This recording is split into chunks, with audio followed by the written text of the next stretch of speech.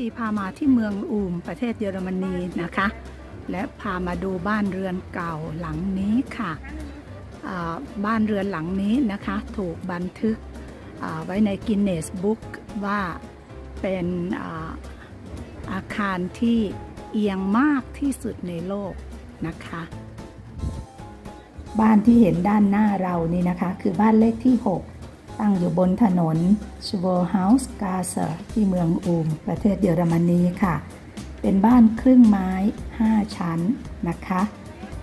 ซึ่งเป็นบ้านเก่าแก่ที่มีอายุมากกว่า 600 ปี ในอดีตนะคะ บ้านหลังนี้เป็นที่อยู่อาศัยของนายเรือแห่งเมืองอูม ประเทศเยอรมนีนะคะแล้วก็ห้องด้านล่างเนี่ยก็จะเป็นห้องที่เขาเก็บปลา และก็มีห้องที่เขาใช้ซ่อมแซมอวนนะคะ ในอุปกรณ์ในการหาปลาของเขานะคะด้วยเหตุที่บ้านหลังนี้นะคะ ตั้งอยู่ริมฝั่งแม่น้ำก็เลยทำให้ด้านข้างของบ้านนะคะ ที่หันไปทางแม่น้ำเกิดการซุดตัวลงอย่างรวดเร็วแล้วก็มีการเปลี่ยนแปลงเจ้าของอยู่หลายครั้งนะคะ จนกระทั่งในปี 1995 บ้านหลังเนี้ยก็ถูกใช้เป็นโรงแรมนะคะ แล้วก็ปรับปรุงให้ทันสมัย มีห้องพักที่ทันสมัยอยู่ประมาณ 11 ห้องค่ะ และในปัจจุบันเนี้ย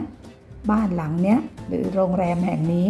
ก็ยังเปิดเป็นโรงแรมให้บริการนักท่องเที่ยวเข้าพักได้ตามปกติค่ะ ต่อมาในปี 1997 บ้านหลังนี้นะคะได้ถูกบันทึกโดยกินเนสบุ๊ก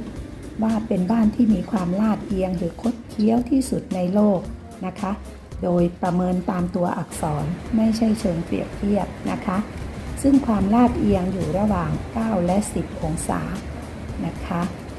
เดี๋ยวเราไปชมความงามของบ้านหลังนี้นะคะ บ้านที่ได้ขึ้นชื่อว่า